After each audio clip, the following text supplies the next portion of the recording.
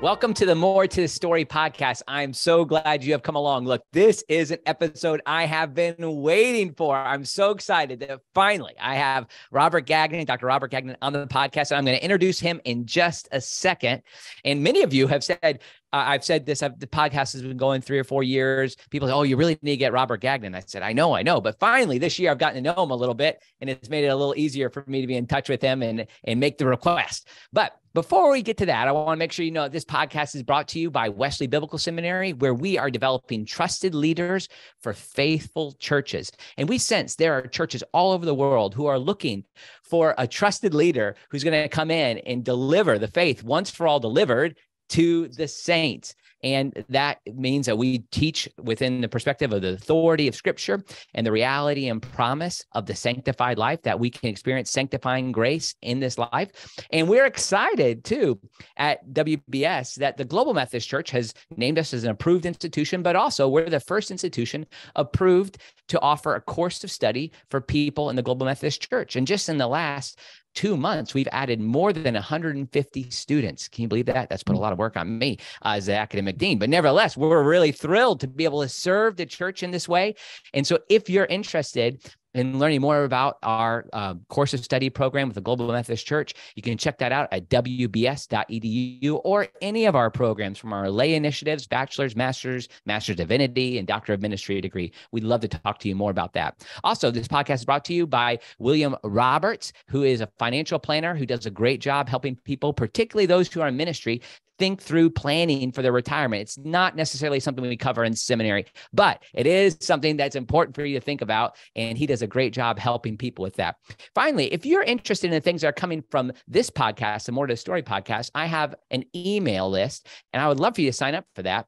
And if you do, I will send you a free gift. And that is a, a tool called Five Steps to Deeper Teaching and Preaching. It's a 45 minute teaching session and an eight page document that really helps people go deeper into scripture using an inductive method with the aim, too, of keeping the homiletical task in mind along the way. So I'd love for you to check that out. I also have a six week session, a six week series uh, for small groups on the book of Jude, which covers a lot of the, the content that we're going to talk about today. It's called Contender. You can find out all about all that stuff at andymillerthird.com. That's andymiller.com. All right. I am thrilled to welcome to the podcast Dr. Robert Gagnon. Robert, welcome to the podcast. Thank you so much for having me, Andy. It's a pleasure to be on. Well, and, and Dr. Gagnon teaches at um, Houston Christian University, formerly Houston Baptist University, and uh, has taught He's been an academic for years, and he has written the definitive volume, in my view, on human sexuality from a biblical interpreter's perspective, um, called "The Bible and Homosexual Practice." I have it here. Unfortunately, I don't have a good cover. You can only see the side, um, but just to give you an idea for the the nature of the standard that Dr. Gagnon writes at, and and the way that it's respected in the field, I just want to read to you the names of the people who have endorsed his book: James Barr. Brevard Childs. Um, let's see, I'll just keep going through C.E.B. Cranfield, I. Howard Marshall, Douglas Moo, James D.G. Dunn, C.K. Barrett. That's some high praise there, Dr. Gagnon. Yes, I was blessed by that. I didn't know what I could expect from producing a book like that. And right. uh, in fact, especially among some persons who uh, have a different perspective on the issue, um, like James Barr um, right, like Martinez right. and, and others. So yeah, it was amazing to me. Uh, uh, uh, another ethicist I'm blanking on from Oxford, uh, that they were actually able to to give me good endorsements for the book. So praise God.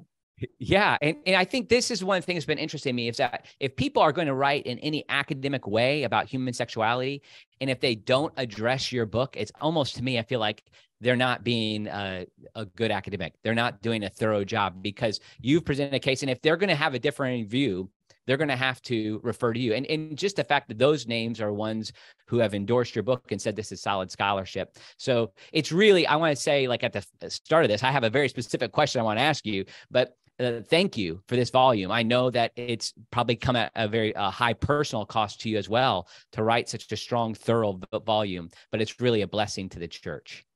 Thank you, Andy. So, why I wanted to bring you in today is you wrote a great article that uses some of your past research, and this was on the Christ Overall website. And the title is this Is it loving for a faithful Christian to go to a gay wedding? I love that you wrote on this because this is a pressing question that many people have in our day. And, and you start this article by thinking about rather or not this is what you call a, a, Romans 14 question. What do you mean by that? What's a Romans 14 question? Well, there are a lot of people in the evangelical world who now support or at least allow for attendance at a gay wedding. Yeah. Uh, Timothy Dalrymple, CEO of Christianity Today. Um, yeah. Focus on the family. I'm stunned uh, to see that Focus on the Family called this a Romans 14 issue, an agree to disagree issue in terms of attending a gay wedding. Preston Sprinkle, who's been very prominent recently on, right, right. on uh, as a New Testament scholar dealing with issues on homosexuality and transgenderism, uh, recommends it actually if your child identifies as gay and gets married to a person of the same sex, that you should attend that wedding. Um, of course, Andy Stanley has already gone over. Uh, yes, been going yeah. over to the left on this issue of sexual ethics for over a decade now. And we'll be having a conference in September, hosting it in his church using a stealth homosexual front organization called Embracing the Journey, and having speakers like Justin Lee uh, and wow. uh, David Gushee, who are thoroughly supportive of homosexual unions uh, Justin Lee is still looking for Mr. Right, and they all they all adopt this at if they're not actually thoroughly supporting gay unions, they are at least uh, affirming of attending gay weddings. Right. And as I said, they all use the Romans 14 analogy. If they're evangelicals, they still want to maintain a veneer for being opposed to homosexual practice um, as not a flourishing event they nonetheless will say, but attending a gay wedding is okay because of Romans 14. Now, Romans 14 is an issue about diet and calendar. Right, right. Paul is dealing with in Rome. Those strong, uh, those who have no scruples over eating, they eat all foods, treat all foods alike. Um, and then the weak who have scruples against eating meat, which is not specifically forbidden in Judaism, but is sort of like a hyper demonstration of fidelity to food laws and to the law in general. And uh, it, it, Paul argues that it's basically a matter of indifference.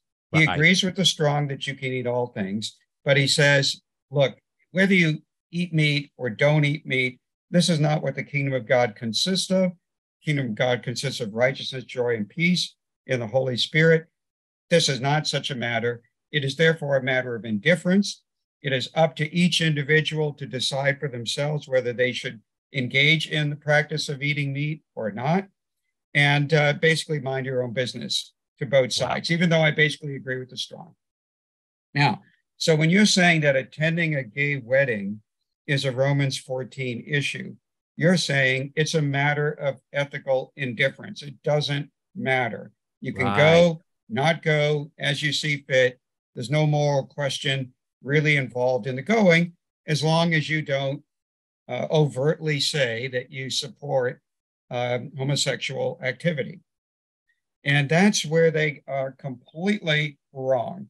There yeah. is no uh, Christian in the first century, no positive protagonist of the faith, including our Lord and the apostolic witness to him, that would possibly endorse the attendance at a gay wedding.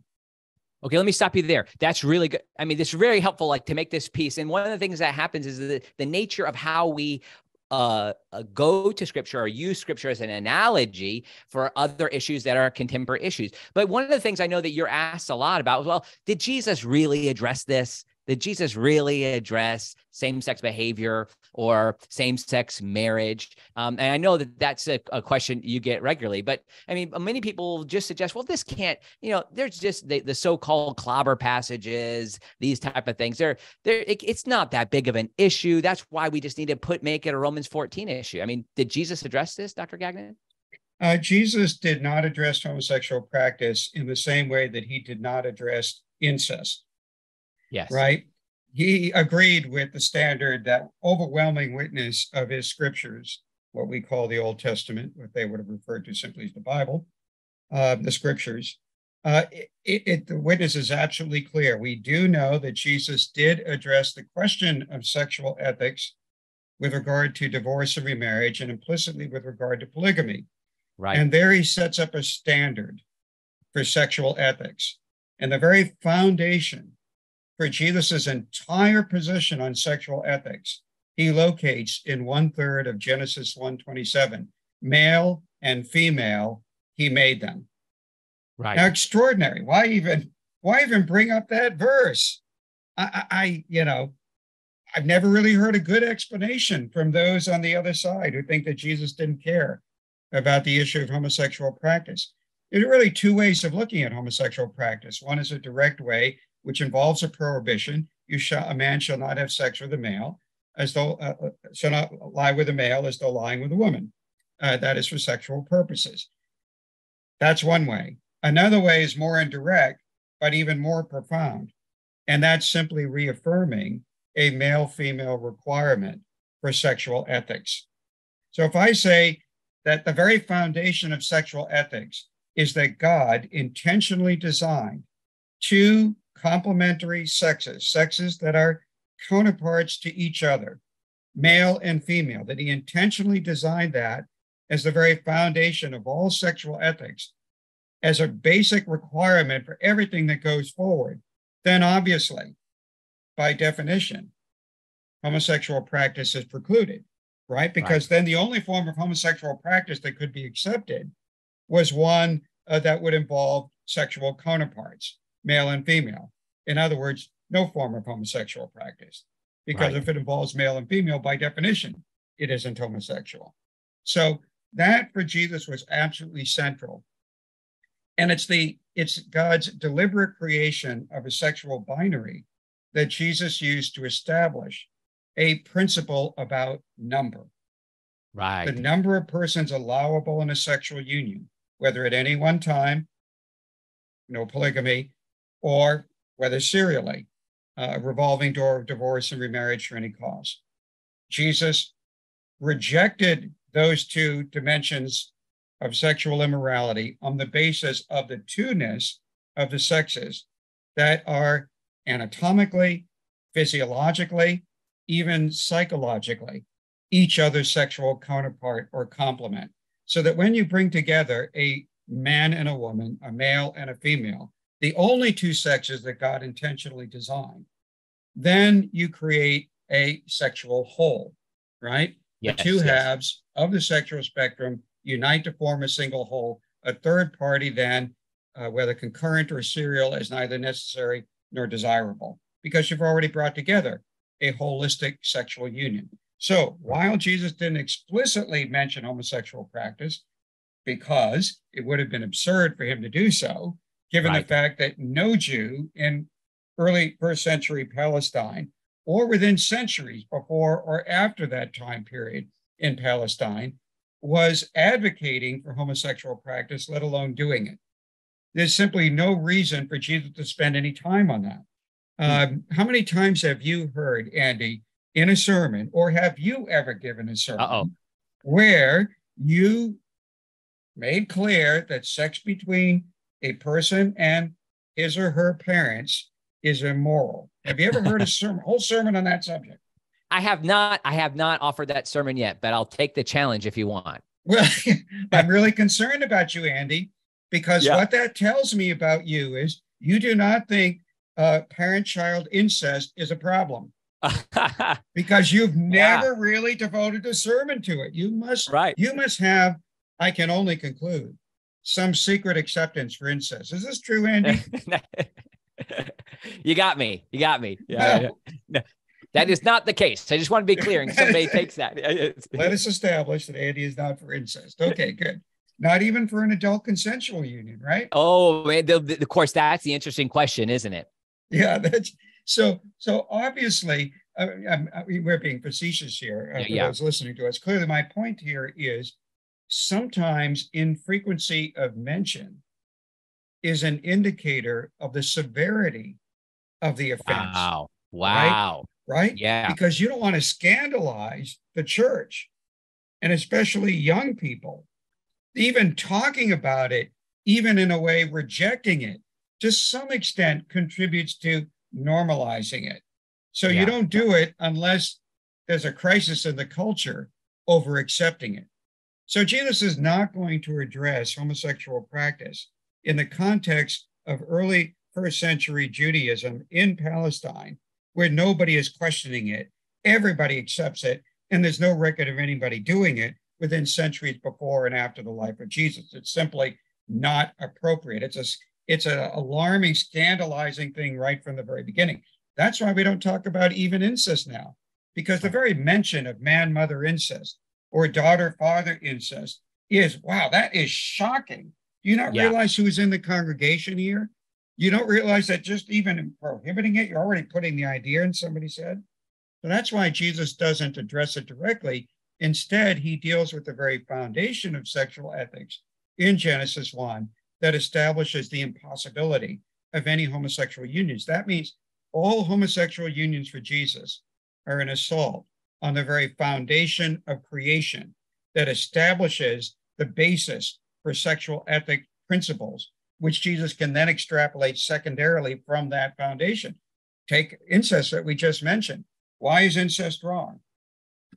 Someday go to a cocktail party, Andy, and just throw out that question. You know, why not have sex with your parents? And do that yeah. at an event at Wesley Biblical Seminary. I am sure, although I, I can't say I've witnessed the event, I am sure that you will stop conversation cold. Yeah, everyone yeah. will be looking at Andy. oh my goodness, Andy! And uh, and the reason for that is, wow, you know, people will be shocked. It'll be hard for them to initially to explain why. The initial re- explanation that they're going to give is because it's your parent. Right, right, right. You know, it should be obvious to you.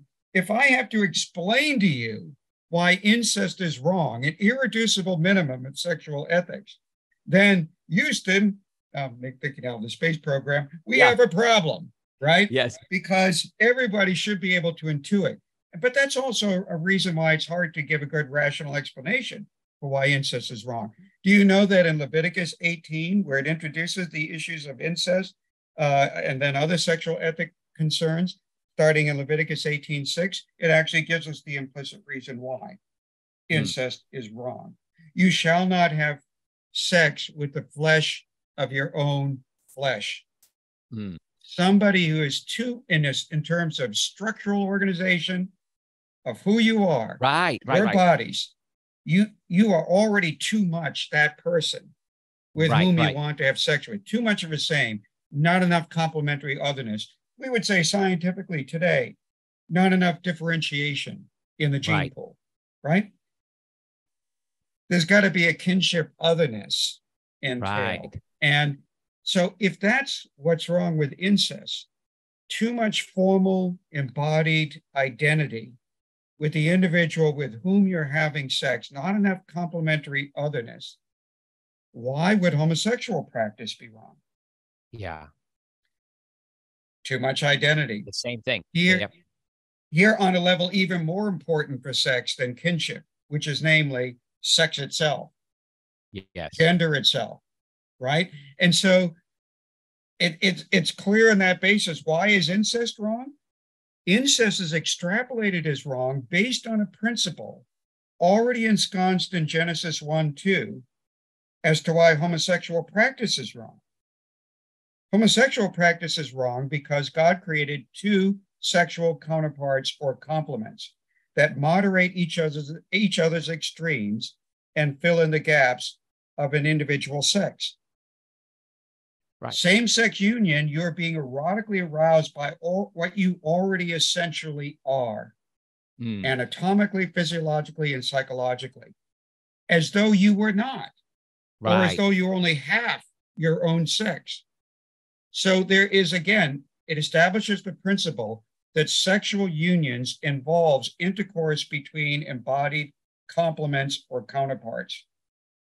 And it's on that basis that we can extrapolate a principle that incest is wrong. because there's too much identity here now, not on the level of sex, but on the level of kinship. So you see what I'm saying here? Yes. The point that I'm, I'm trying to make here is that the prohibition of homosexual practice, or the flip side, the affirmation of a male female requirement for sexual ethics, is not for Jesus or anyone else in Scripture, merely one sexual offense among others that are all basically equal. Right. It is the foundation for everything else that follows and the basis upon which every other sexual ethics standard is derived. So that when we get rid of this, it's like Andy, it's like it'd be like pulling the floor out from under where you're sitting right now. Yeah. You got nothing left to, to hold you up. Yeah. And that's why this is so, that is why the issue of homosexual practice is so central to the church's witness right now. Because getting rid of the rejection of that or getting rid of the affirmation of a male female foundation for sexual unions is getting rid of, even if people don't realize it automatically, it's getting rid of all sexual ethics standards. There right. is nothing left. If this one doesn't hold, they all fall like dominoes. We may not be logically consistent to make that connection. Eventually, we will. Yeah. But but the point is, logical consistency would lead to the elimination of all other standards. So this is interesting. Just on this podcast a few weeks ago, I had somebody come on and, and uh, highlighting the work in three denominations: the Salvation Army, Church of Nazarene, and the United Methodist Church on one of the people who represented the progressive side, I was trying to give them an opportunity to speak, and I couldn't help myself. I had to jump in a little bit, and I ended up saying one thing, and and the the person on the other end, the the progressive voice, accused me of making a slippery slope argument, and and I wish I would have come up this earlier, but I said no, no, this is the we are we are already there. There is this isn't a, a we're not skiing down a slope. We're cross country skiing. We can see it around us. There is no slope. Uh, like what you're saying, like the, the elimination of any other type of prohibition against any other sexual action will be gone. Right. You could uh, eliminate incest, you couldn't eliminate polyamory, because those both of those standards, the standard of only two in a sexual union and the necessity of complementary otherness on the part of the participants, is all derived from the male female foundation for sexual ethics, which automatically eliminates homosexual practice. So you're absolutely right. People do argue as if there is a slippery slope so that by approving homosexual unions, we're going to get something worse. Yeah, yeah. We've already done the worst in terms of adult consensual human relationships, interhuman relationships. There are other forms of sexual practice that are worse that say adult child sex, or moving outside the human species bestiality. Right. But other than those two, when you're dealing with adult, consensual, intrahuman sexual activity, there is, in the biblical view of things, nothing worse than homosexual practice precisely because homosexual practice assaults the very foundation of sexual ethics, and that makes it worse. Yeah. Because everything I mean, else topples with it that you've already leapfrogged over to get to the bottom of the hill. Right. yeah, you're exa- exactly right. And one of the things we deal with in, in working in seminary education, and you've been, you know, a, a, theological educator for years, is that sometimes people come in with what I call more of a folk theology about the nature of sin, like suggesting somehow that all sins are equal. But you've kept using the same language worse. And like one of the things we have to help people see is there's differences of degrees and results of sin as well. And as as, as like a biblical scholar, I mean, that's that's something that's uh, basically right in the text for us to be able to evaluate. You know, there was one occasion when I was debating a lawyer on this question. It's actually going to be a TV show, but it never oh. made it. Never made it beyond the initial stage, but it was going to be a controversial issues. They have lawyers on both sides and theologians on both sides. And it was about a pizza issue, whether or not you'd have to sell pizza uh, for a gay wedding. And uh, okay. uh, so the lawyer was trying to humiliate me over my claim that all sins are equal because that was his claim. All sins are equal. And of course, he was thinking of light sins. And yeah. so if we were going to uh, call homosexual practice a sin, it wouldn't be any worse sin than, for example, gluttony. Yeah. You know, or or maybe uh, a, a fleeting uh, a, cons- a, a fleeting acquiescence to sexual temptation. And so then I made the comparison with incest, and he got outraged. Oh, that yeah. is so horrible. How can you say this is like incest? And I thought you said, I, I responded to him, said, I thought you said all sin was equal. Well, apparently it wasn't for him. Incest was yeah. really bad, and he was outraged, yeah, and I would compare homosexual practice to it. So that just goes to show he didn't operate under a principle that all sin is equal. And in fact, who could? Who yeah. could who could actually yeah. act that way? Why right. did when Moses is coming down the Mount Sinai, God said, "Go down," because Israel is committing with the golden calf a great sin. Right. Well, how can it be a great sin if all sin is equal? There's there's no meaning to a great sin. If all yeah. sins are great, well, you know, you shouldn't get any more worked up over this over an argument that took place between two Israelites when they left Egypt over whose yeah. property this particular element was. It's all equal. But yeah. nobody thinks that. Nobody believes that. Even in sexual ethics, nobody believes that. Look at the culture.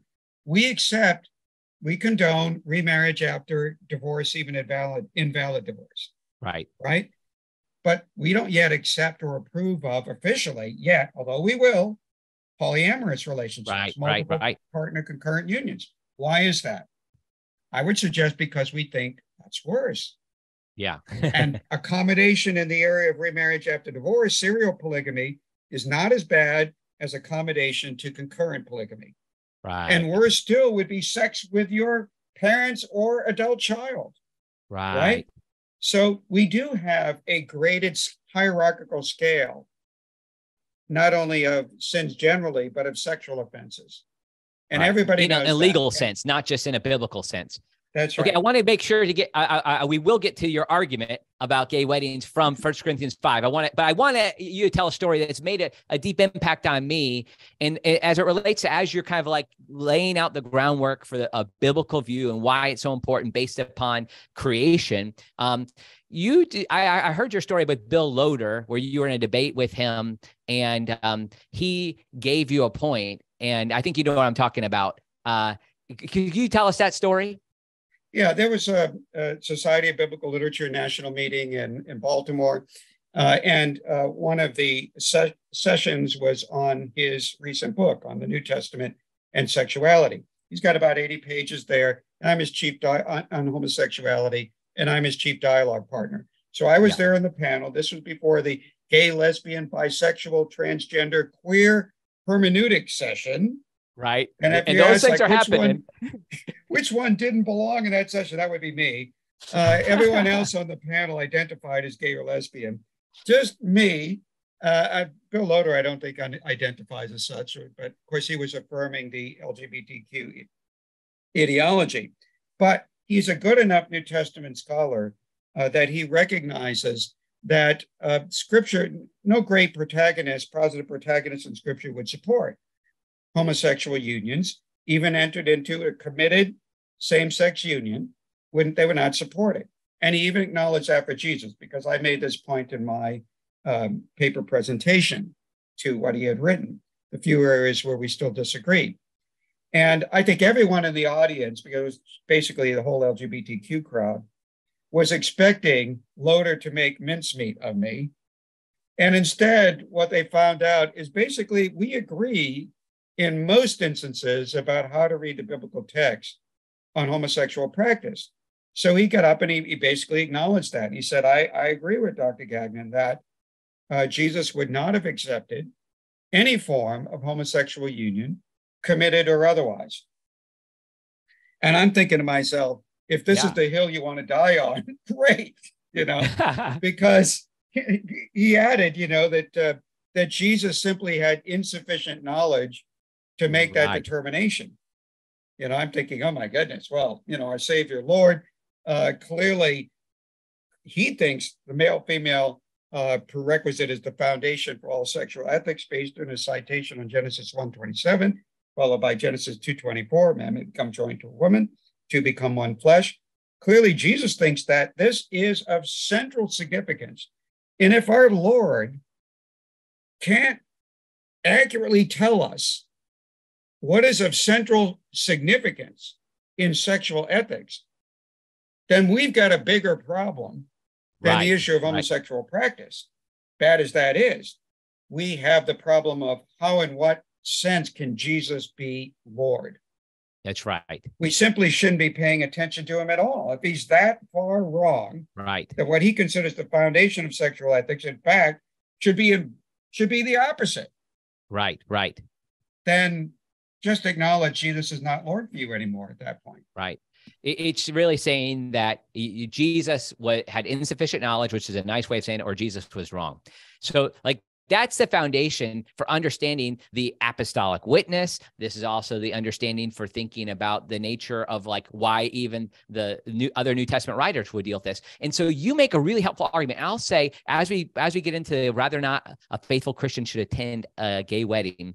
Um, I've I've made an argument for this in the past, and your article helped me and challenged me that I've not made the best argument. And I won't tell you what my argument is first, but I love how you bring in First Corinthians 5. This is a key text for us seeing out this. And, and thankfully, you've already built the case for incest, but there's the situation with the incestuous man. Tell us how that applies and is a good analogy for uh, rather not we should attend a gay wedding. Yeah, so in First Corinthians 5, Paul deals with a case of sexual immorality going on in Corinth. And it is a man who is having a sexual relationship with his stepmother. We don't know anything else beyond that about it about exactly the specifics of that relationship, nor do we need to, nor did even Paul need to, because right. obviously when Paul heard about this, that they were tolerating this case of egregious sexual immorality, he hit the roof. He just could hardly believe it that this would be the case, that anybody could approve of such a thing as this as the church, in the church, since it's such an irreducible minimum of sexual ethics.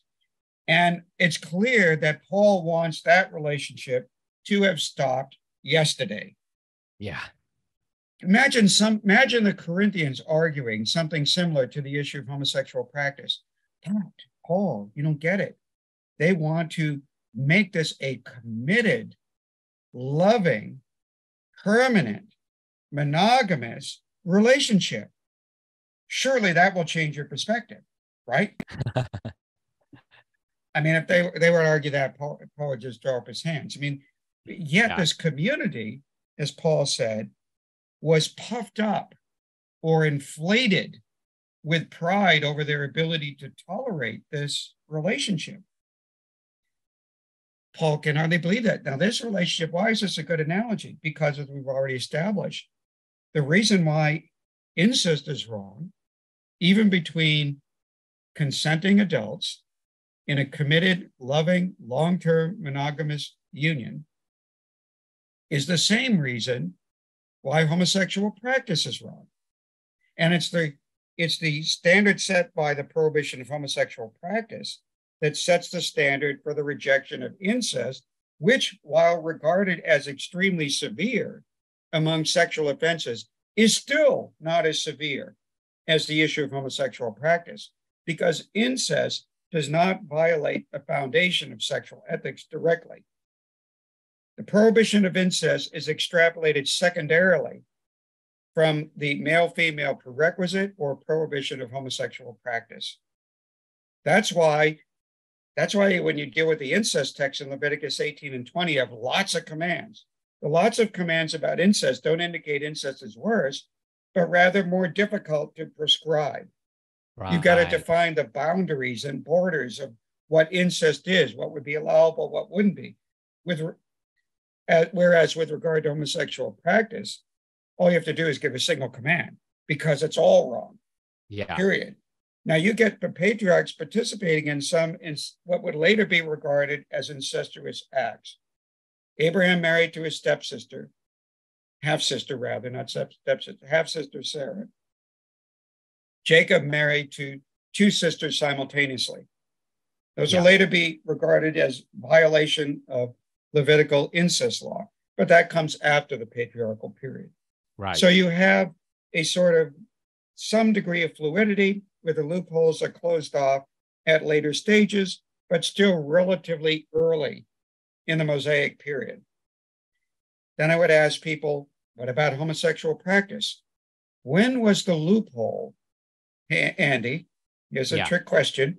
Where was when was the loophole for homosexual practice closed off in Scripture?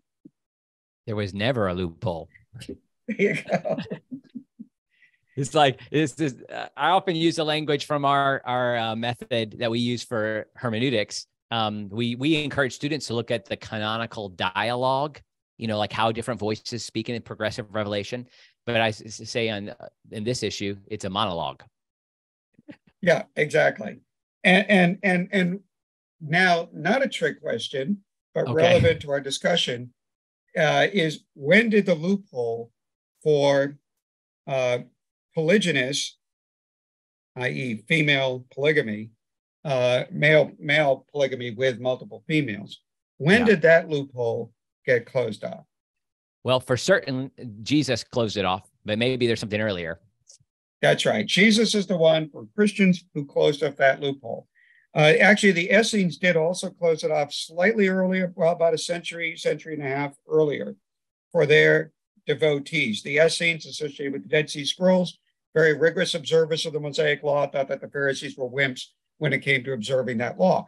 And, and they closed off the loophole for polygamy on the basis of Genesis 127, male and female who created them. Same yeah. principle Jesus would operate with a century, century and a half later. Now, my point of all that is simply saying the later the principle here is, the later the loophole is closed off, the less severe the offense. Okay, interesting. So the fact that polyamorous relationships are not closed off to a later period, the New Covenant period for Christians, a little bit earlier than that for just one small segment of Judaism, but for most of Judaism, not closed off until much later than the time of Jesus, indicates it's a less severe offense than incest, where the loopholes are closed off relatively early in the Mosaic period, but not completely in the patriarchal period. Right. And as you quite rightly noted with regard to homosexual practice, there never, never was a loophole from the creation text in Genesis 1 2 on. That's again another indication that homosexual practice is not just the equal of incest in terms of severity, it's worse. So we go to 1 Corinthians 5 and look at this. We shouldn't say, well, that might not apply because incest is worse. No, it's the other way around. Mm. Homosexual practice is worse than incest. And if Paul is so hot under the collar about the incest, even involving affine relationships, that is, there's not a strict blood relationship between the man and his stepmother. Mm-hmm, mm-hmm.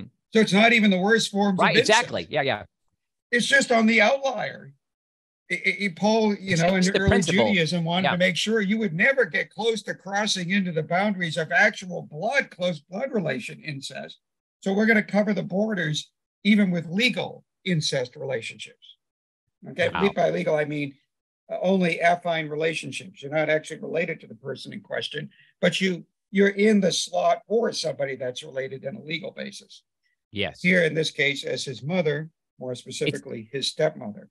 It's so still called first, incest. First, he still identifies as incest, even though in it there is a technical sense that it's not.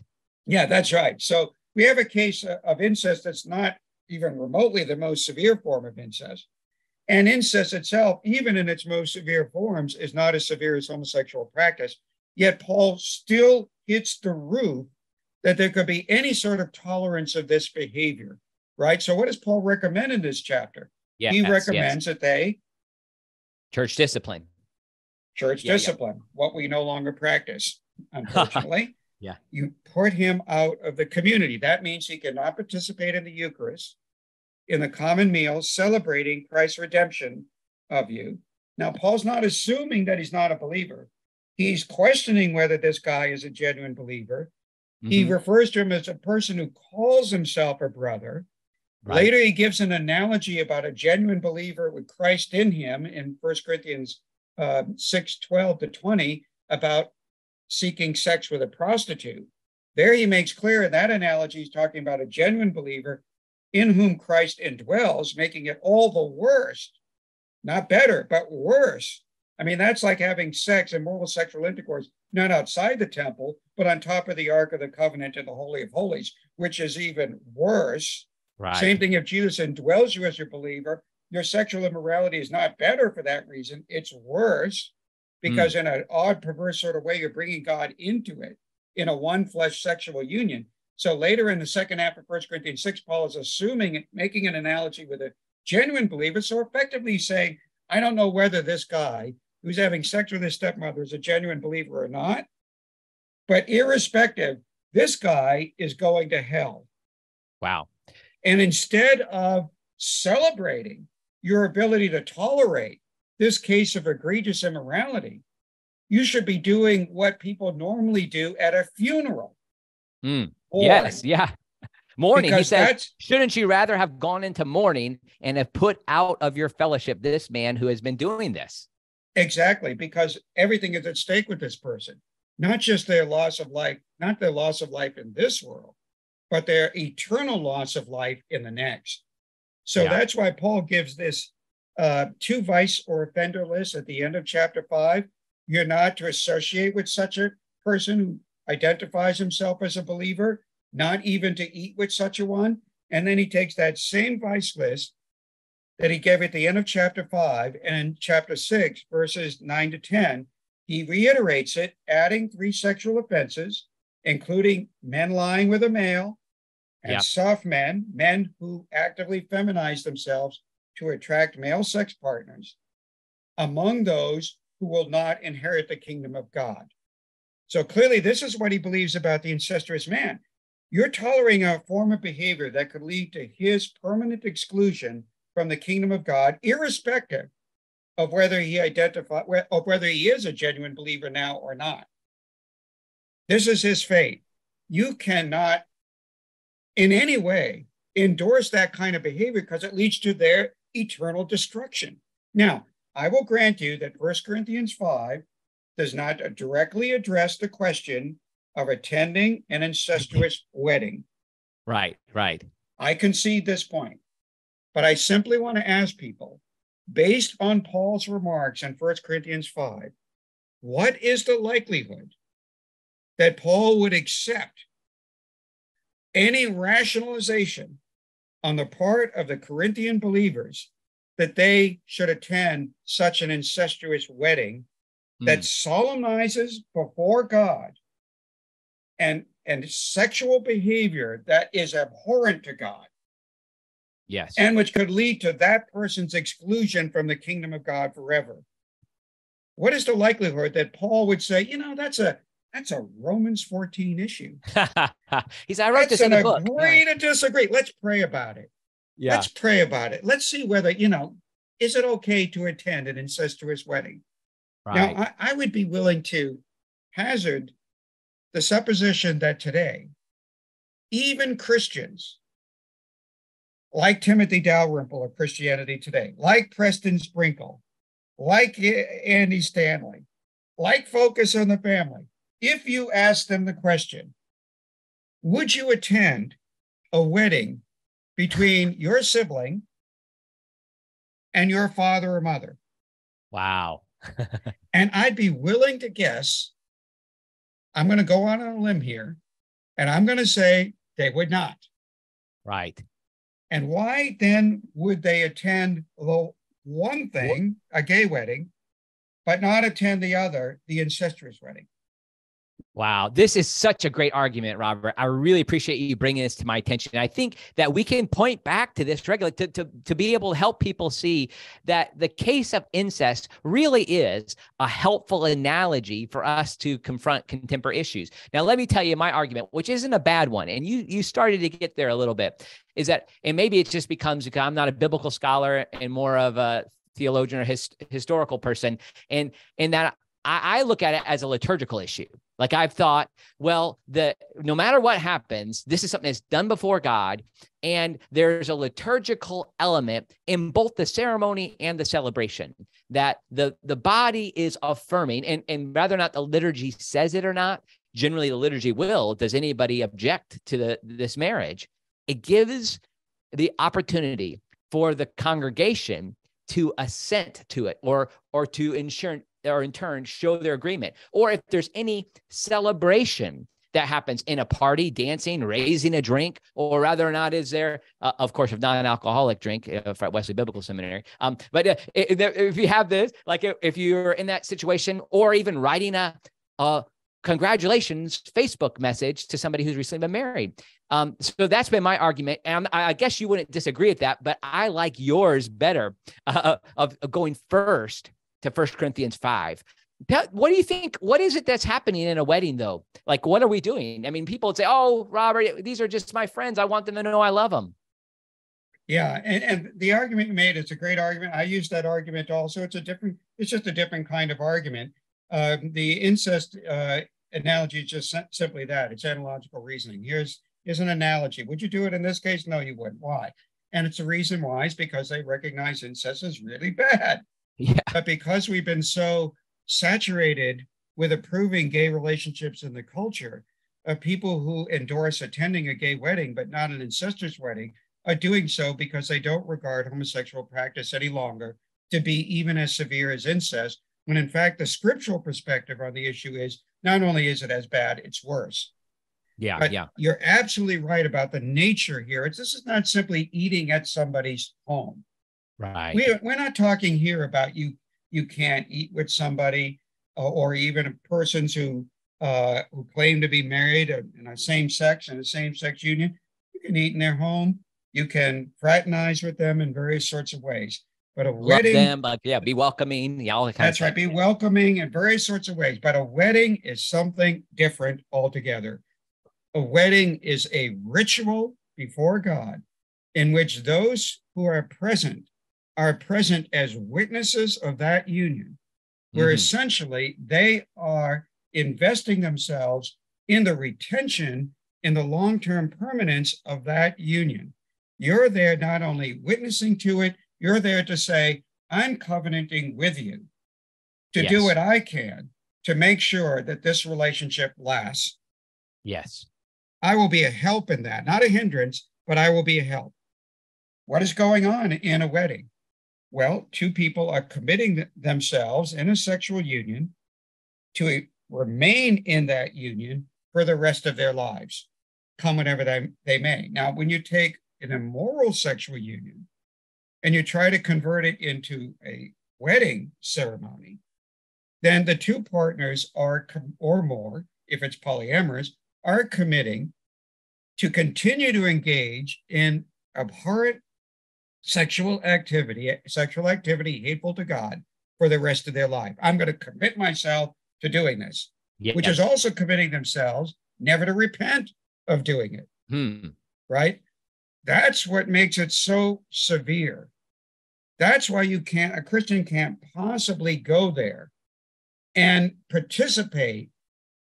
Their very presence, whether or not they know it, whether or not they've said anything to the couple otherwise, is there to affirm the union. Otherwise, don't be present, right? If you know, think of think of what you have to. You've mentioned some things you have to do at a wedding. I have an older daughter that got married this past summer. Yeah, completely joyous occasion. I delivered the homily. It was loads of fun from beginning end because I was so happy that my daughter had found this great guy, both them thoroughly committed to the Lord. I mean, we were just so rejoicing throughout the whole thing. How can you go to a wedding and right. not rejoice? Right. It's simply not possible at any point. The whole point of the wedding is to celebrate the union of these persons. And there are various ways in which that's manifested. You mentioned it's not just at the wedding ceremony itself, uh, it's it's also the after part of the wedding, right? Right. You're toasting to the couple, etc. Uh, you're dancing. Uh, not all weddings. I, not a lot of Christian weddings don't accept dancing. My my uh, in-laws, uh, future in-laws, said there'll be no dancing at the wedding, so we did not have any dancing at the wedding. Um, and uh, but that's okay. You know, everyone has a different perspective of that, whether there's dancing or not. It's celebration. Right. That's right, the right. whole leitmotif of the entire occasion, right? And what are you going to do? Everyone's applauding when the you know the the bride and groom are leaving after the service. You know, when you go to the reception line, when you're going to say, "Oh, that was so lovely." Well, I mean, You know, yeah, everything's an affirmation of the wedding, right? Everything. And That's even, right. I even mean, writing on a yeah, go ahead. Sorry, even writing on a Facebook relation, wall. If this were a blood relation, I would be crying the whole time. They don't want Hello. me there. Yeah, it wouldn't be tears of joy. I would be depressed, crying, upset for somebody I love committing herself to a relationship that could yeah. lead to the exclusion of the kingdom of God permanently. How can I possibly be happy in an occasion like that? Right. So they shouldn't right. even want me there if that's going right. to be my attitude towards it. The only way I could be there is by some way participating in the celebration and affirming my role as both a witness and as a guarantor of the long term survival of that relationship. That mm. I cannot do. Ritual is totally different thing. So, what is the parallel in First Corinthians to that kind of ritual? There actually is a parallel. We okay. find it in First Corinthians 8 and in First Corinthians 10. It's over the question of whether or not you can eat idol meat in an idol's temple. Oh, interesting. Yes, yes, yes. Now, now, granted, this involves idolatry, not sexual immorality, but Paul is always connecting those two things. Right. One on the vertical level, the other on a horizontal level. Uh, Romans 1, 18 and 32 is a classic example. Idolatry is a classic expression of the suppression of the truth about who God is, readily accessible in the material structures of the created order, still visible in nature. What is, what is sexual immorality, for which he pinpoints primarily homosexual practice in Romans 124 to 127, immediately following the indictment of idolatry? That is a very similar thing. It's suppressing the truth about the way God made us. A truth readily apparent in the material structures of our human bodies. Right. Which you have to have, have to have to actively suppress in order to approve of. Right. So it's it's the perfect horizontal correlation to the vertical dimension of why idolatry is wrong. So why is going to an idol's temple wrong? You're in the ancient world, the, the idols' temples are the restaurants of antiquity. Okay? okay. So if you're celebrating a birth of a loved of a child, you're celebrating a wedding, you're celebrating a business deal, whatever it is you're celebrating, chances are you're going to invite the people you know and love, you're to send invitations to them, and it's going to be held at an idol's temple. Because the meat first gets funneled to the idol in sacrifice, and then right. some portions of that are left for the celebrants. So, where Paul says, you know what, you can eat idol meat in other venues, in your own home privately, or in somebody else's home if nobody raises the question about where this meat came from. Right. But you can't go to an idol's temple and eat this meat because that's part of a larger set of ritual right. activities involving a pagan god. And when you do that, you're even if you don't know it, you're essentially covenanting not with pagan gods because they don't have reality, but with the demons behind those unreal pagan gods. Yeah. And Paul gives this great rhetorical question. You're not stronger than God, are you? Yeah. Okay, so of course not. Right. You don't want to tip God off because if the big man comes down, he'll wipe you out. It doesn't take anything right. for him to do that. That's what's happening in the ritual of a same sex wedding. Hmm. You're involving yourself in a covenant activity that is absolutely abhorrent to God. And the worst form of sexual offense imaginable among consenting human adults. Hmm. There is no way that you can do that, and God is going to step aside, and that's not going to be a problem for God. Hmm. Paul would have issued the same remark if there had been an incestuous wedding with the incestuous man at Corinth and his stepmother. He would have issued the same remark You're not stronger than God, are you? Right. So you can't do that. So even if you could, some people want to argue, well, first of all, the uh, incestuous man claims that he's a believer. What if it's with unbelievers? It's the same thing. You're going to an idol's temple, celebrating with an unbeliever who has yeah. invited you to the temple. The fact that he's an unbeliever doesn't make it acceptable for you to go to that ritual occurrence. That's solemnizing an event that is abhorrent to God, offensive to God, and connecting yourself with idolatrous forces. That's what's happening also in an immoral sexual union of this order. Wow. This is so helpful. And you think about the argument as a whole, just as you're saying all this, moving through from First Corinthians 5 through 6, then 8 and 10. But I, am also looking even in uh, thinking of First Corinthians 5, the giving over to the accuser, giving over to Satan, the destruction of the body, then leading to the, the climax of First Corinthians, First Corinthians 15, the nature of the resurrection of the body. And, and, and that's based upon Jesus' resurrection. Just shows the importance of our bodies. And um, Christopher West, who, you know, we were really thankful to have you at our conference this past February uh, on whether or not this represents uh, human sexuality as a matter of an essential or dogma. And Christopher West, he has a great book, and the title of his book describes this well. I think you might have uh, been a part of that. So at least quoted in there. Our bodies tell God's story. Our bodies are describing this reality. Oh, this is yeah, so our interesting. Bodies are a narrative exactly of God's story, of God's redemptive, uh, created and uh, God's creation and redemptive work in our lives. And what we do with our bodies absolutely matters. Paul makes this point at the end of First Corinthians 6, right? When he rejects any possibility of a Christian man having sex with a prostitute, where he might think, well, that's really bad. I can understand why he rejects that. But Paul regards that as creating a one flesh union, even though it's it it has the least personal investment involved in it. Right. right? Because it's a material transaction to some extent. You're paying the person for That's not an actual relationship. But even that relationship, Paul says, involves the body holistically. Right. In an act of sexual immorality, where you're becoming one flesh with another person in an immoral sexual union, while your bodies are a temple of the Holy Spirit that is in you. Mm, mm-hmm. And that you don't belong to yourself. So you're already one spirit with Jesus. And now you're taking that one spirit union and you're uniting it in a one flesh immoral sexual union. Outrageous. Yes. Absolutely the sin outrageous. against the body. That's right. It is right. Every other bit, every other sin by comparison could be called a sin outside the body. A little bit of hyperbole, but more or less. But this is a sin, holistic sin against the body, which is the temple of the spirit that is indwelling you. You were bought with a price by Christ's atoning debt. You don't belong to yourself.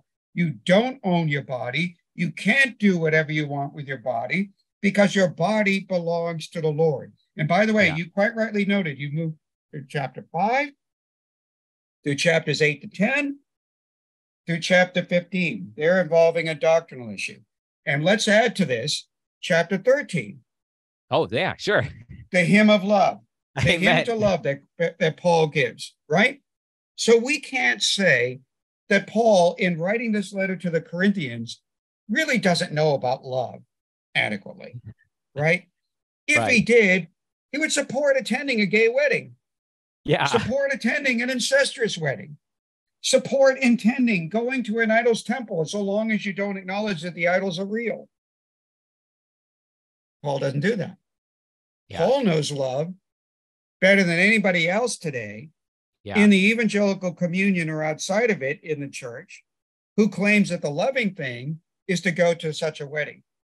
Mm, mm-hmm. Paul knows what love is.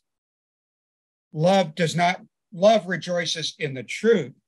Yes love has no participation in wrongdoing, right? So I can also talk in Second Corinthians 6 about not becoming partners, koinonoi, with unbelievers. Yeah. Right? You granted, Paul says, right, you can't you can't disassociate from all unbelievers who are immoral because all unbelievers are immoral by definition, and you'd have to be beamed up out of the world. But that's not the same thing as becoming partners koinonoi with unbelievers yeah. in their activities. And that includes these ritual celebrations, whether they be of false gods or whether they be of immoral sexual unions. You cannot become a partner with that kind of episode. Paul knows what love is, and he knows that his recommendation of church discipline. Now, clearly, by the way, let's recognize that if Paul is saying you're not even to associate with such a one, you yeah. can't be attending his wedding. Right. Sure. That's right. By definition. Yeah. Right. Because that's that's not only an association, but it's a high caliber association with that individual right. in a ritual celebrating the very activity which is supposed to preclude your association with him. Right. So clearly, Paul does not think there's no way. That's that's why I say. I mean, there's no way you can argue that Paul could have, even though he doesn't address the question of an incestuous wedding, given the fact that he says you can't associate with such a one, it's obvious what his answer would be to the question of whether you could attend an incestuous wedding. Yeah. You clearly can't because you're not to associate with such a one, right? So that that should Yeah. be straightforward right from the get-go.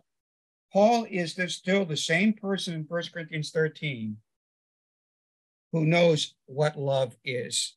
Yeah.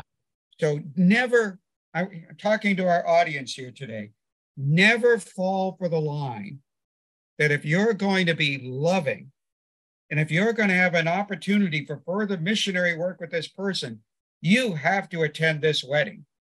Yeah. That Mm, is a lie. Now, there are lots of other ways that we've noted you can continue to associate with such a person if the person is an unbeliever. right. But attending a wedding, a ritual ceremony celebrating the act, that you absolutely cannot do, Paul Right. says. There are plenty other ways in which you can be loving. Remember what's happening here. If you give up at this point, let's say you have a child, identifies as gay or lesbian, is getting married to a person of the Right, same sure. sex. Like Preston Sprinkle says, you should go to your kid's wedding. And That's right, right. Because he says if you don't, you might never see them again, and that will close off any further mission opportunities with them. That is a bad argument because there are other ways in which you can show your love which don't involve you in being complicit in the immoral sexual union, which would be what was hap- would be what would be happening if you attended that service. There are other ways in which you can show that. But if you relent on this, you've established a principle to your child that you are susceptible to manipulation and hmm. extortion. wow. Because if you don't come to my wedding, I will have nothing to do with you in the future. Yes. Well, yes. that argument, if you concede to that, you've essentially said, you know what, our relationship is not equal here. right? Yeah, yeah. Because you can make these kinds of extortions and manipulative ploys on me, okay? And I always have to bend to you, but my own values mean nothing to you. Right. Right. We're This not going to establish a relationship. I don't care how much I love you. We cannot establish a relationship of that order where my values, which are set by God and by my Lord Jesus Christ, are entirely negotiable if they offend you. Mm, You are not imp- more important than my Lord. Wow. I love you. I'd give up my life for you, but I am not going to violate the will of my God and Savior. Wow. You are not that important. And I'm not dissing you by saying that. I'm just saying you're not my creator. Wow. You're not my redeemer. And I cannot apostatize for your sake. Wow. But if you concede on the wedding, you've established the point that your values before the Lord come second to your child. wow. And that automatically sets the stage for the future that they can continue to manipulate you, continue to extort you until you finally renege on the whole principle of sexual ethics Dr. that Gagnon, God you did are not intentionally design us as male and female. Can you do that? You can't Yeah. do that as a believer. Right. And it- Oh. it's- when we think of it in these terms, Andy, isn't it amazing that any evangelicals would say this is a Romans 14 agree to disagree, matter of indifference, ethical issue, and you can do what you want? Yeah. Like, I'm are you telling you, I. I, have you I'm so even thankful. opened scripture? yeah. I, I, I just appreciate your willingness to say it this clearly. And, and that's what I've appreciated about your scholarship.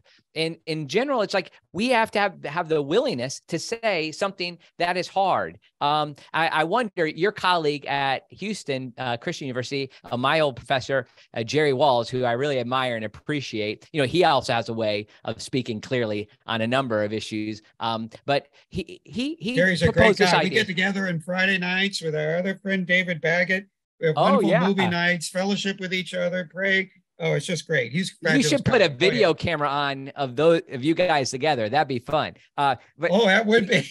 I can't. I can't would be even. a I, scream. I love it. And uh, boy, moral philosophy. There you go. Well, let me. You know, he Jerry Walls says an interesting thing. He wondered if the reason Christians aren't willing to speak out on this issue is because of the sin of fornication like and and i think there's something to that because and, and that is you know any any sex, sexual activity outside of marriage. So premarital sex in that in that, in that case. And that that's one example. So like i think there's something to that that, that, that weakens us. But that you've said it a few times. And, and thinking of jerry walls the, the doctrine of hell uh, as well. Like that this could lead, this obstinance, this willful choosing to reject God is the type of character trait that, if it's not handled, could lead to somebody um, moving to a place of eternally rejecting God, like e- eternal damnation. So, so, in a sense, as C.S. Lewis says, God would say to you, to the individual, thy will be done eternally. That's right. And that gets at an important reason why Christians so frequently hoist the white flag on this issue. And it's because we all have our own sexual sins, right. if only in our thought life, right? It's very much harder to manage one's thought life than sure. it is one's actual physical, outward, concrete behavior. And so we all have a certain amount of guilt, especially men, with regard to sexual ethics, because it's a struggle. It's a constant struggle with our thought life. And we look at the adultery of the heart statement that Jesus makes in the yeah, Sermon sure. on the Mount. and We say, oh, you know, and then we feel like we can't have a voice on sexual ethics. And in, and in fact, then we try to give ourselves an exemption because if we give an exemption to the issue of homosexual unions, or at least to accommodating at another level to the extent of attending a gay wedding, then we get a pass. Yeah for what we do, which exonerates us in our right. eyes. The only problem is it's sort of like a mutual human agreement to exonerate each other, but we're overlooking the judge overall, the creator, the creator, redeemer of the universe, yeah. who isn't participating in this exoneration that's taking that's place. Right. I mean, it's a wonderful exoneration party, but God, who gets the invitation, doesn't attend. Right. Because he sets the standard, and it doesn't matter whether we give each other a pass. There is no moral goodness to, to being more consistently disobedient to the will of God. Has the hmm. church made some accommodations on sexual activity that it should not have made? Yes. Does that mean that we should extend the, keep extending those accommodations to right. even more severe offenses? so as to be more consistent in our disobedience yeah. of the will of God, there's no value to that. Yeah. God doesn't want us to be more consistently disobedient to Him. Yeah. He wants us to move more, recognizing our inconsistencies because we are still indwelt by sin. God wants us to continue to hold the line in places that we're holding the line and then move more consistently to extend that line in other areas where we have been compromising and should not have been. Yeah. So never person should never fall for the line. Well, we've already accommodated to divorce uh, uh, and remarriage. Uh, therefore, we should continue to accommodate. Well, that overlooks several things. That's not a virtue, being more consistently disobedient. And number two, it overlooks the fact that some sins are more severe than others. Right. And However bad remarriage after invalid divorce is, and it is wrong, and I've written about it, it is wrong. Yes. It's still not as severe as polyamory. Right. It's still not as severe as incest. And it's certainly not as severe as homosexual practice. So, compromising at one level, there's no logical correlation with that to compromising at an even greater level. Right. Right. And that's what we would have to do here and I appreciate you bringing. And people can just Google you and find where you have spoken about divorce, and and you, have said every time an invalid divorce. So I just want to highlight that. Some people might want to bring that up. I want to ask you one more question on this. I have two more questions altogether, but one more question. Um, uh, and, and, this, I think this will be a softball your way, but it is the argument that a lot of people have in our postmodern times that that they face is they'll say, "Well, this is just your interpretation." Right this is this is just you know the, yeah yeah You've studied for a long time but but i in all of my wisdom, have a different interpretation. Um, what's the problem with that? Well, I do get that a lot. And um, let me tell you, as a professor of New Testament, when people turn in exegesis papers, I don't hold the view that everybody's interpretation is equal. Right. If I did, I couldn't grade any exegesis paper. Right. Some people just don't make a good argument for a position that they have. Now, by the way, I've once when I was at Pittsburgh Theological Seminary, I was able to get away just once with teaching a course on Bible and homosexuality. I gave the top grade, an A plus, to a Unitarian Universalist student who had an entirely different perspective on the issue. Okay. So I don't I don't grade people down for disagreeing with me. Uh, I grade people down for not having good arguments. Okay. Whether or not they agree with me, right? I want to know did the person study the issue and come up with good arguments, pros and cons to address the matter? And not all arguments are equal. So if somebody comes up to me and says, well, I have a different opinion all interpretations are equal, I say, well, even you don't believe that. Right.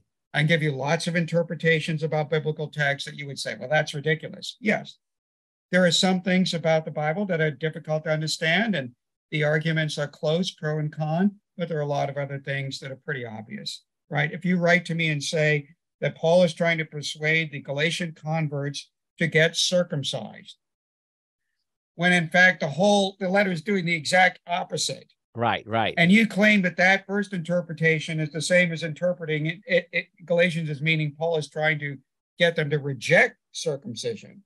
Then I'm saying to you, you haven't read the text. Yeah. Study it a little more carefully. So I would say to somebody is if you think your interpretation, for example, on the question of attending a gay wedding, is equal to the one that I just presented, then make the arguments.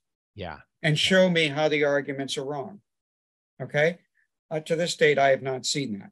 Right. You'd have to show how the analogy between incest and homosexual practice is a bad analogy, when in fact, I would argue it's the best analogy because it has the most points of substantive correspondence with the thing to which it is being compared. In this case, homosexual practice with incest. That's the definition of a good analogy. Yeah. You bad analogical reasoning is when you prefer an analogy that has fewer points of correspondence. So if you make the argument, as some have made, right. you're some of you are willing to attend a remarriage after a divorce. Therefore, you should be willing to attend a gay wedding. Okay. Well, first of all, if the remarriage after the divorce was by a man who di- who divorced his wife because he was sleeping with another woman, then wants to marry that woman after divorcing his wife, I would not be attending right, right. that ceremony, first of all. But even if somebody did attend such a ceremony, you would still be making the assumption that homosexual practice is no worse than remarriage after divorce, and assuming that remarriage after divorce is no worse than incest, an incestuous marriage or wedding, and no worse than a polyamorous wedding. And nobody would argue that. Right. They recognize differences in degree of severity, and attending one less severe, though still wrong, ritual event doesn't get you to attending a more severe wrong ritual event, right? Yes. So that'd be an example where if somebody brought that up as an analogy, I'd say, here's why your analogy doesn't work. And after I pointed that out, what are they going to come back with? Right. They got nothing. Yeah. Right. If they wanted to argue to me that Paul would have approved such an at- attendance of a ritual ceremony of that egregious sort, historically, it's a no brainer he would not have. Right. And the same applies to Jesus, since Jesus regarded the male female requirement as the foundation of everything else. So you would have to argue not only that Jesus would attend a gay wedding, but Jesus would have intended an incestuous wedding, right. and he would have intended a polyamorous wedding. And we don't know that he wouldn't have done those. So clearly, you would have no argument. So all interpretations equal, not been my experience in life. Give me your best argument. Yeah. And it has to be moving us to the place where we I think the next step would just have to be if people would want to move away from that, they're just moving away. Eh, They have to admit they're moving away from Scripture's authority. The the, the authority right. that that Scripture has any function as a divine rule that can use the Protestant language of Christian faith and practice. Um, if you're so attending I, I, a gay wedding, you're telling me. Sorry to interrupt you. No, go ahead. Keep going. Uh, if you're if a person is attending a gay wedding, that person is telling me certainly this person does not regard homosexual practice as a particularly severe sexual offense, not in the order at least of incest and polyamory, which they would not attend a wedding ceremony for.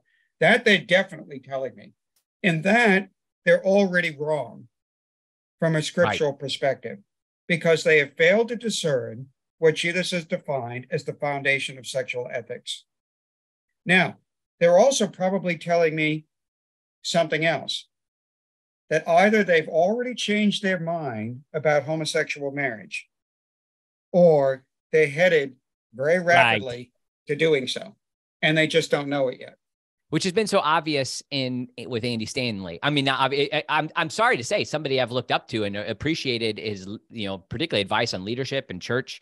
You know, like the way that you think about the church reaching out to community and people who aren't Christians.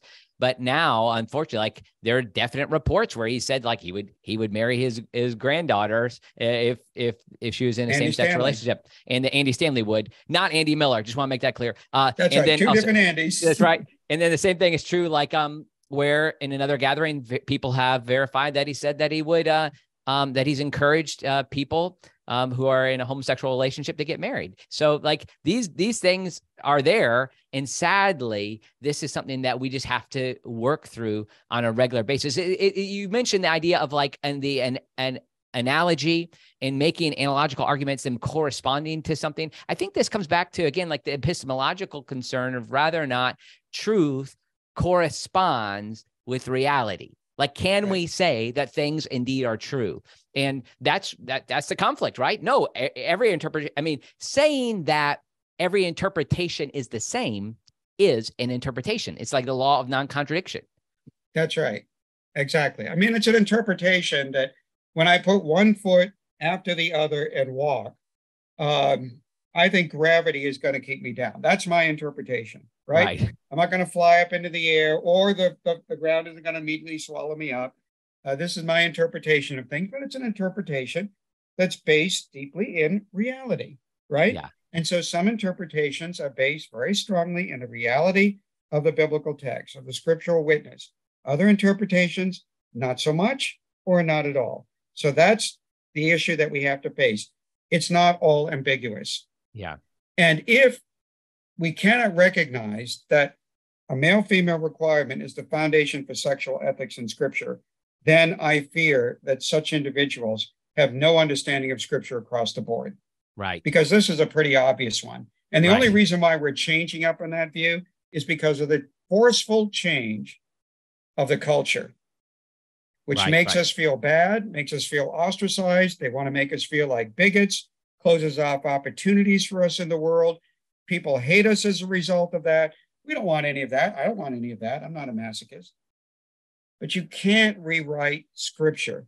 You can't change the words of our Lord. You can't make it be something other than what it is. And when you when a person attempts to um, cover in a stealth-like fashion parts of the biblical text and make what is obvious as all get out, be an agree to disagree matter, we got a serious problem. Yes. These are people that are. Now, that is a slippery slope. That is a sliding down a slope in rejecting the lordship of Jesus Christ. Any church, any denomination that embraces homosexual unions is a denomination or church that has ceased to be in any meaningful way a valid representation of Christ to the world. Wow. That's how basic it is. You cease to be a church of Jesus Christ.